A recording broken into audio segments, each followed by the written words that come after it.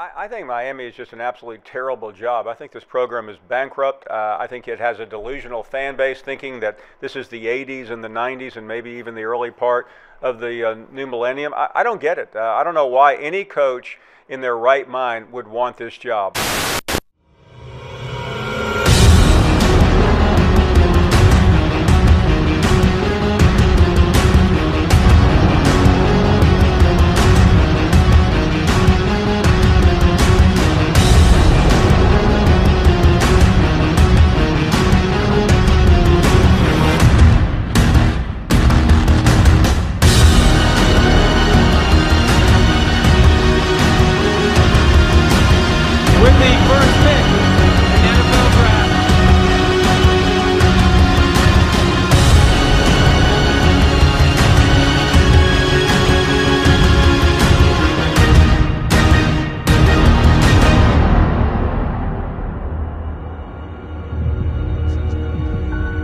Miami a great job, Bruce?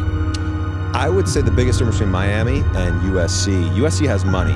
Miami does not have a lot of money. To me, that's the biggest difference. Miami also has a stadium issue. What makes Miami a, a elite job is no place in the country, including USC, has as good